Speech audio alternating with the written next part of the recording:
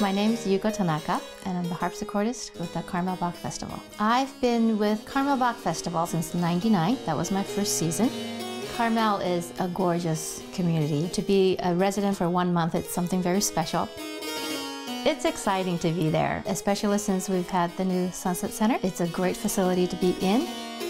Harpsichord is a predecessor to the modern piano. It's the keyboard instrument from about 1600 to about 1750. And rather than uh, being considered a percussion instrument, which piano is, with the hammer hitting the strings, it is actually a string instrument where strings are plucked. I've always liked the Baroque repertoire.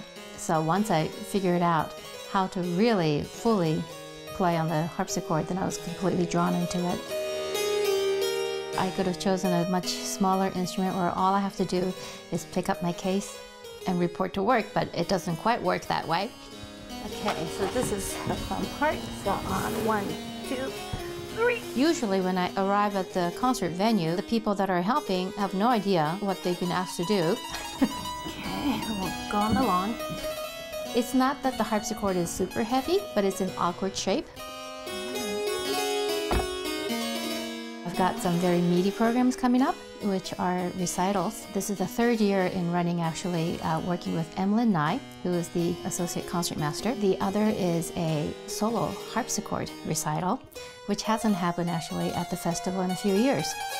I enjoy going to Carmel Bach Festival because it's the reconnecting of people, musicians, musicians' immediate family, musicians' extended families, and then you connect with the audience members as well. It's the human connection as well as the, the musical connection that I look forward to each year.